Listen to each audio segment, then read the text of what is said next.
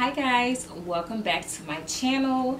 Today we are going to talk about my TTC journey or trying to conceive journey slash my HSG test experience. So the last time I spoke to you guys about anything was basically it was my miscarriage story. It was very emotional. That was a very hard time um, and today is February the 11th 2021 I actually had a miscarriage and the surgery in May of 2017 so it's been almost four years since um, the last time I conceived although that was an unplanned pregnancy. Um, so I don't, I'm not sure if I mentioned it, but I did say after my 30th birthday, which was in October, um, I told my husband that I would be open to trying to conceive again for us to start our family. So prior to that, I did go to the doctor because I just wanted to make sure that everything was okay. And also because, I mean, we weren't really trying, but we weren't really preventing anything all 2020. So it was kind of like, okay, I didn't get pregnant and we want to start getting pregnant or start trying at least to get pregnant. Um, so let's just see what is what. So I did go to my doctor. Um, so I live in Houston, Texas, and we have um, a hospital called Kelsey-Seybold, and I kind of shifted all of my, um, I guess, OBG or gynecologist appointments to Kelsey-Seybold. However, because of COVID and, you know, people not being able to go in um, by the time October came or uh, September, October-ish, like getting an appointment was almost impossible. like the appointments were available like January. So I went to my old doctor that um, I was actually seeing during the time I had my miscarriage and when I conceived at the time. So I went to see him. Um, we did some tests. You know, he had me, um, he checked my hormones when I got my period. Um, and then we did an ultrasound. So based off of my blood test from when I was on my cycle, he basically said that my blood results were weird. So we did the ultrasound and I have a polycystic ovary. So basically I have been diagnosed with PCOS kind of um, in my early 20s. And so I've always known that I've had PCOS. Um, I do know that it's harder to conceive while having PCOS and I already kind of wanted to stay ahead of that anyways. So basically PCOS is polycystic ovary syndrome. That's PCOS, yes. Okay, so polycystic ovary syndrome, meaning that you just have cysts on your ovaries. Um, so I first found out about it for one, my cycles ever since I was 13. I did I got my cycle when I was 13 and since my cycle started um basically it was irregular. So it used to come every 3 months. Uh, when I was 21, I did go to the doctor because I didn't get my period for 6 months and I wasn't pregnant. So they did have to make my period come um, there was a whole cancer situation or whatever that I had to go through. I had to get different biopsies and stuff like that. So fast forward through all of that. Um, here we are, PCOS, doctor's hormone. So based off of the ultrasound, I had cysts on my ovaries, which they saw, which is something that I knew based off of my blood report. He said that there are three different hormones that have to be abnormal in order for you know someone to diagnose you with PCOS. I only had one of the three levels that were abnormal. So he said it's not terrible, but you know, it's still a problem. So he then referred me to a fertility clinic. So um, immediately after that, I did, I felt a little sad and I feel like something told me that I should call Kelsey-Seybold. I did try to check to see if they had an available appointment sometime soon. They did not. So I went ahead and I called the fertility clinic and I think they had an appointment like that following week. So my husband and I went to the clinic. Um, the clinic is CCRM if you're in Houston and you are experiencing fertility issues or you want to find a clinic. We went there. Um, I felt like it was very informative. They seemed to be experts in everything. So um, I want to say we spoke with Dr. Hickman. I cannot remember his name, um, but it was a doctor. I'm pretty sure it was Dr. Hickman. So I came in there prepared. I had questions. You know, I've done so much research um, because I already knew that this day was coming. Um, I knew that there was going to be a time when we would be ready to start trying to have a baby. And so I kind of had already been preparing myself. So I went in there with my ultrasounds. I went in there with my uh, blood test results. Like I was ready and he was able to look at everything right there in front of me and kind of talk to me about what was what. So, um, our initial consultation, he did say, you know, I have PCOS. He said the good thing was that based off of my ultrasound, he did see that I had eggs on my uterine wall. He said, however, it just may be as simple as you're ovulating, but your body just isn't releasing an egg, which, you know, can be helped out with a fertility drug. So, um, you know, we did the whole thing. Then we actually did some blood work to see, you know, like our blood type and um, to check for to see if I was immune to chickenpox and some other virus. I can't remember what it was called. And so um, my husband, he did some and the problem was that so we do have insurance we have health insurance he works for the city and we have pretty good insurance so they said that our insurance did not cover anything basically he gave us a plan the first step would be to basically do um, a drug called letrozole.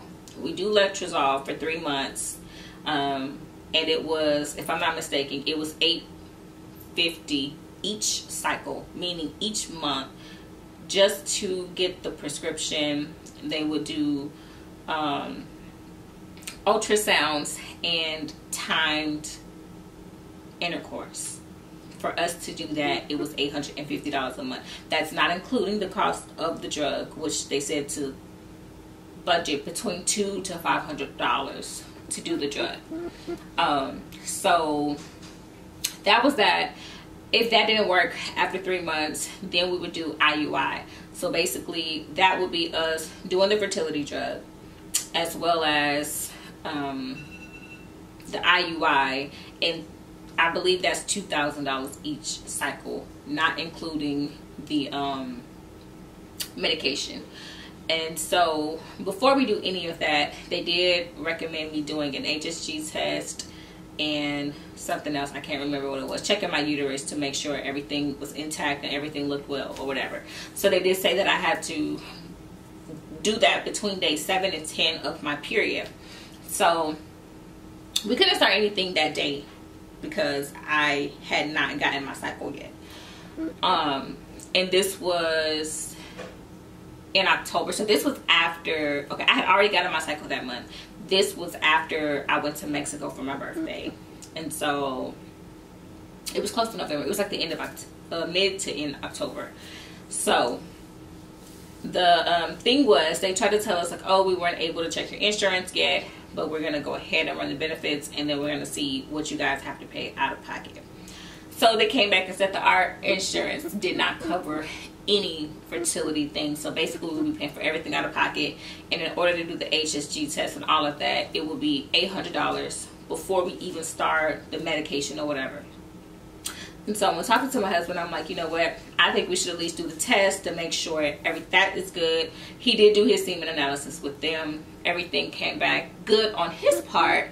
And so it was just for me to take the HSG test to make sure everything was good on my end for us to get started with this process. So something, you know, brought up Kelsey-Seybold to me again. So I did call Kelsey-Seybold. There was a new doctor that had just got um, that they just hired, and she doesn't really have a client, a patient list, I guess, yet, and so or patients, and so they were like, you know, if you want to, three days. They had an appointment available with her, and I was like, you know what, I'll take it. So my original doctor that I went to um, they were basically saying like, oh, that's too much for the HSG test. We could probably get you one at another, you know, it's just like an imaging clinic here and it should be like $300, which was a lot cheaper. So I was like, okay, well, we could do that. Um, or if we have to pay the $800, then we have to pay the $800. But I would like to go through my insurance if I can. So I was able to get an appointment with the doctor at Kelsey-Seybold, which I'm so glad that I listened to that voice that kept telling me to call Kelsey-Seybold because when I went to see the doctor, I basically paid a $65 copay because it was just a specialty visit. And I talked to her about everything. She did say that she was able to prescribe me the medication. And basically, like, there's no extra cost for that. It's just a doctor's visit, basically and she did recommend that I take the HSG test and everything else. So, um, when my cycle came, I did call and schedule for the HSG test, and they told me that I would only have to pay a $65 copay. So, of course, you know, to save money, that's the route that I went. We are in the process of purchasing a home, and I did not want to start a big financial commitment to something while we were in the middle of purchasing a home. So we talked about it at the doctor's office and we my husband and I both agreed that look we should do the test but we should probably not worry about the cycles and all of that until after we purchase our home so that you know we're not slowing down on this or you know incurring more debt or whatever so we were able to do the HSG test at Kelsey-Seybold. So that's the background on that. Now, I did a lot of research, okay? Because I'm a type of person is I don't like to go into anything blind and I like to know all that I can know. Like I like to prepare myself as much as I can before I get into something. Okay, so um I did see I watched quite a few videos on YouTube about this HSG test. And I don't know how to pronounce it. I'm not going to even lie, but I will put the name of the test here so that you guys can know what it is. But for short, it's called an HSG test. And if you Google it, it will definitely come up under HSG test. So, I heard mixed reviews. Some people were saying that it was painful. Some people were saying that it wasn't painful. And some people were saying that it felt like a mild cramp. Mm-hmm. Now, I'm not sure what type of cramps you guys have or what mm-hmm. type of cramps they have, but my cramps are like serious. Like I throw up, you know, I can't move, like I can't really function, I can't eat, sometimes I get a fever, like I have to lay on the heating pad, sometimes drugs don't work. Um, so my my cycle, my cramps, they are terrible. And that still did not prepare me for this just Jesus, to be completely honest. So I did see in some videos, some people were saying that they got prescriptions beforehand um, to make sure that they did not get any type of infections or, you know, pain medication and so on. I did not get any of that. However, um, the only thing they told me to do prior to it was basically just to make sure that I had someone to drive me because I would be in pain and, you know, I would experience some bleeding. So going into it, I don't think I fully thought about everything. So I did actually get this test done with a radiologist. Um, so that's one. And I didn't even think about, you know, my lady parts. So it wasn't until the day before where I was like, oh my God, I have not had my wax appointment. Like, am I to have a woman doctor? I probably feel more comfortable with her I had a man doctor and I felt so ashamed because I did not get my monthly wax and I think I was like six weeks overdue overdue for my appointment at that point so you know everything wasn't looking pretty okay anyways that's off subject so um I did have my mom go with me because my husband had to work that day and prior to the appointment I took an 800 milligram ibuprofen okay so I'm just gonna give that disclaimer. I did take medicine because I did hear people say like you should probably take a pain pill before to kind of combat the pain. So I go there, I check in, they have me, you know, change into the gown.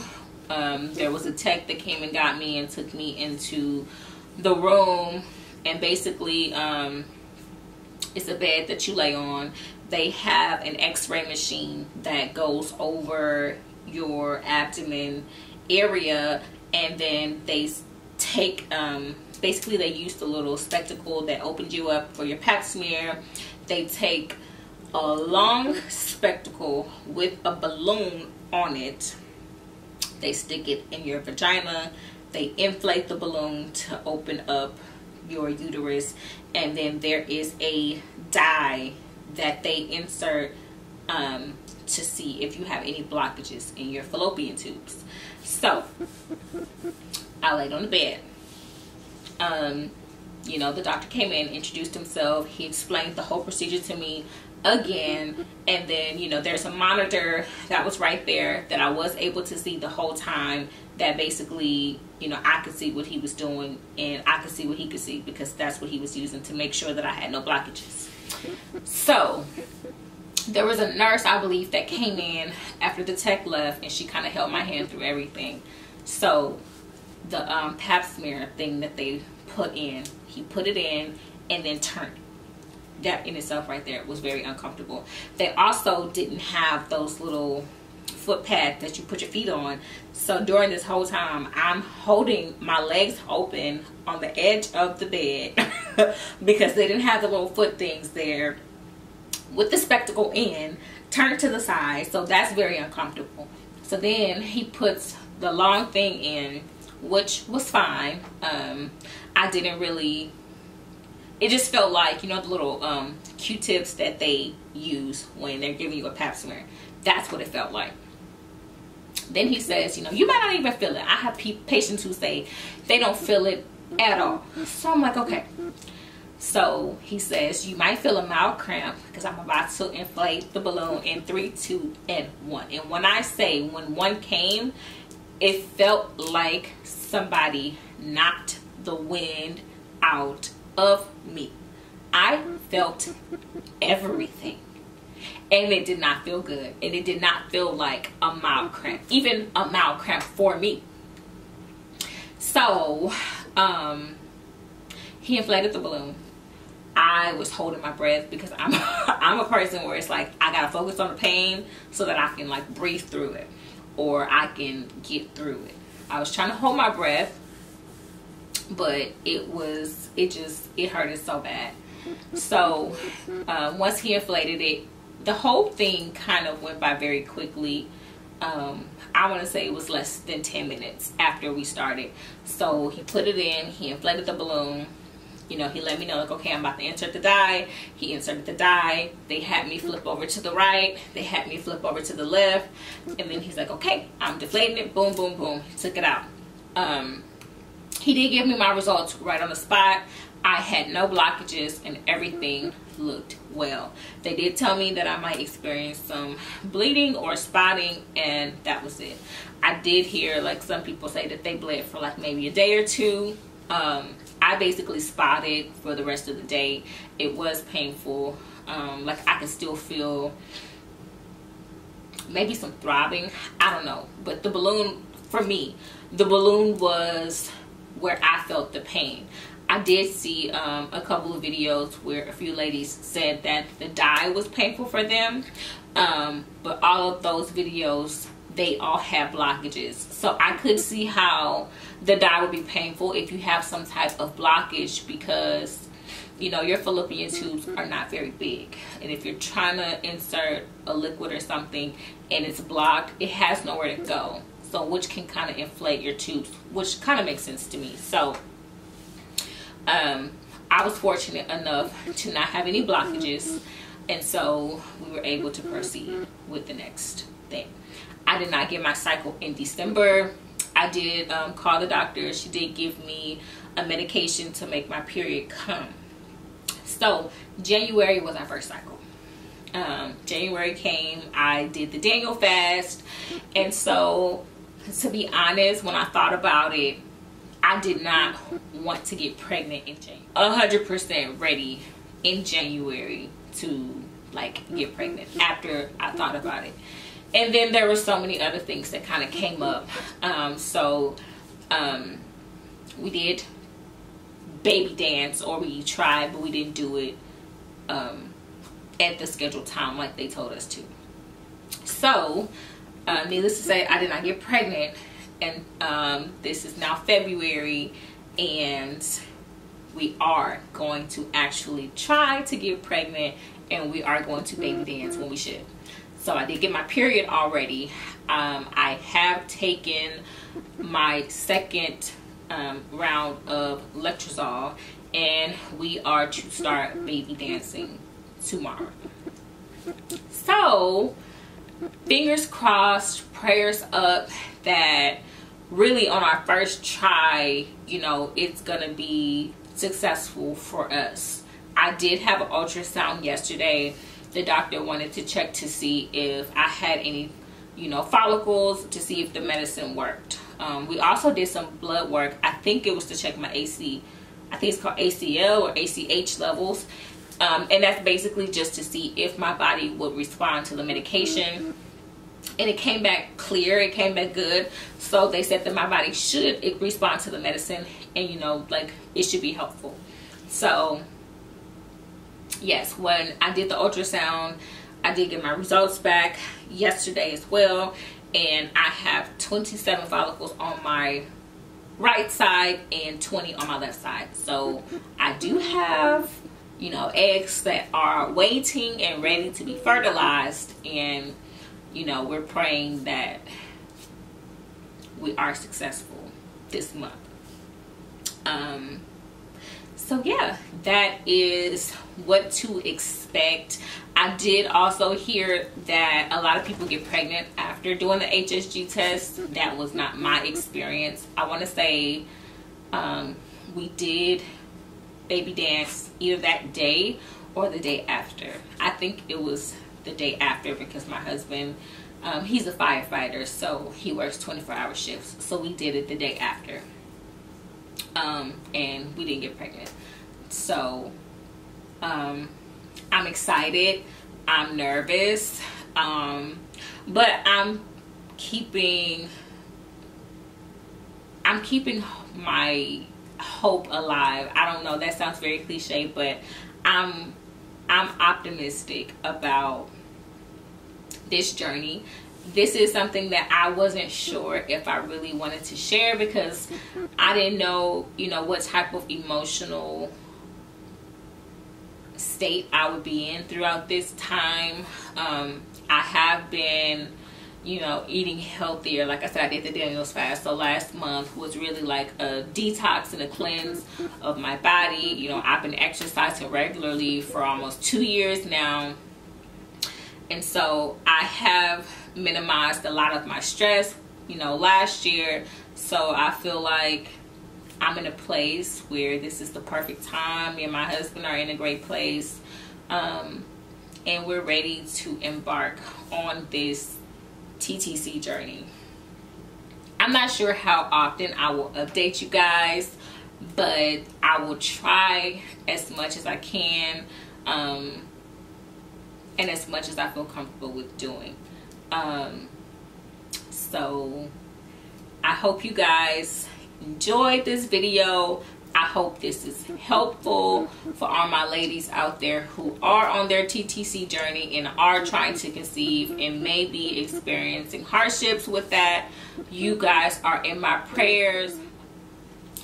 Thank you guys so much for watching. I do hope that this video was helpful and it kind of gives you guys an insight as to what to expect. If you're getting the hsg test please let me know if you've had it how that experience was for you. And if you are getting it let me know like if you have any questions that i didn't cover or what you're expecting or what you're nervous about. Because me watching YouTube videos like that was my source of finding out information to really see like what the heck is gonna happen. Thank you guys so much for watching all of my ladies and mamas to be that are trying to conceive that are on this TTC journey and you are experiencing hardships. You guys are in my prayers. I feel your pain. I know your pain and we are going to get through this. I'm praying that we all have babies in 2021 or we all have a successful TTC journey in mm-hmm. 2021 so please stay hopeful don't give up and don't get discouraged.